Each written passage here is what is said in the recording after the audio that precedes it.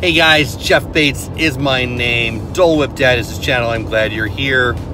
It's Sunday, which means Sunday night, which usually means DisTube, the Yaya Chronicles. They're Disneyland people, they're YouTubers, they're almost to a thousand subs. They're super fun. I really enjoy their content.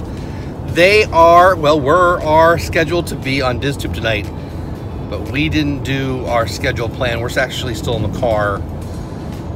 We're not going to have DisTube tonight. So the Yaya Chronicles have agreed to be at the end next week. So we've got practically perfect park hopping who were in the parks this weekend and I saw them and they're awesome and I love them. They've got great content. They're going to be my regularly scheduled